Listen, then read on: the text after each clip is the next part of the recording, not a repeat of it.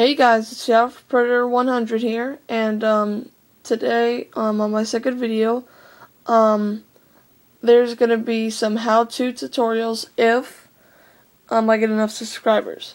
So if I get two, two or three subscribers today, um, I will show you how to make um, a minifig maker dis minifig minifigure display case.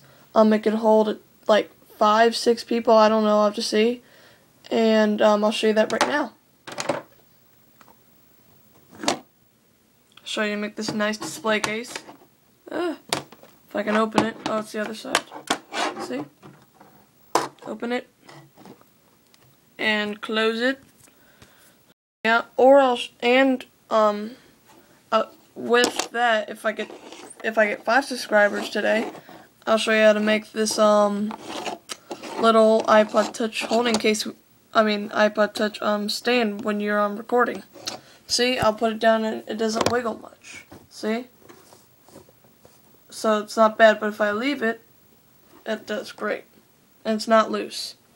And if I get um eight subscribers, I mean um six subscribers, I'll show you how to make an ARC Trooper body like this. It'll be much more accurate though and much um much clean much cleaner. This was like my first one, but the others look much better, but I, I sold those. And and if I get um 10 subscribers, I'll show you how to make this diamond waist cape. The yellow ARC Trooper diamond waist cape. And finally, if I get 15 subscribers, I will show you how to make my Commander Green painted arms with the camo including and his legs. But in the tutorial, you'll be able to see all the details much better because I'll get much better light. So yeah.